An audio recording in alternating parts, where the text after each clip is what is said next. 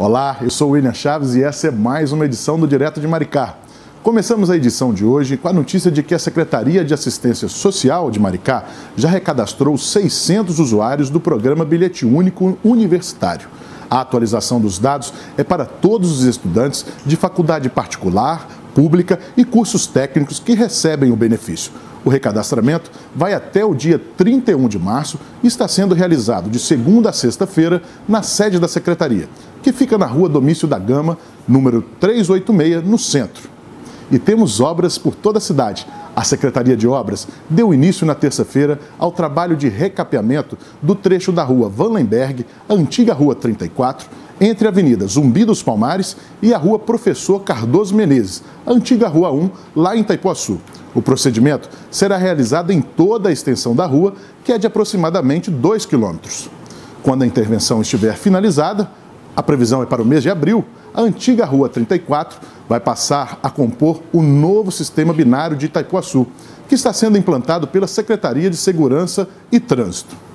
E você, conhece as nossas lagoas? Maricá tem um grande complexo lagunar formado pelas lagoas do Padre, Guarapina, Araçatiba, Jacaroá, Barra, Jaconé e Brava, que somadas aos canais de Ponta Negra e da costa em Itaipuaçu, formam um rico ecossistema costeiro junto à faixa litorânea e ao arquipélago das Ilhas Maricá. Sua preservação é fundamental para garantir o ciclo reprodutivo de peixes, crustáceos e moluscos aquáticos além da cultura tradicional dos pescadores artesanais da região. Pensando nessa preservação, a Secretaria de Agricultura, Pecuária e Pesca lança na próxima sexta-feira, dia 17, às 9 da manhã, o projeto Lagoa Limpa Mar de Peixes, lá no bairro Zacarias. Despejar esgoto in natura, entulhos, lixos e detritos nas margens das lagoas é crime ambiental. Fique ligado. Já tem programação para o sábado?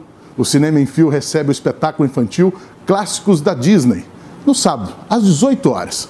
Reserve sua pipoca e venha curtir conosco. Essas foram as notícias de hoje. Não deixe de acompanhar as notícias em nosso site, que você vê aqui na tela, e nas nossas redes sociais. Prefeitura de Maricá, mais perto de você.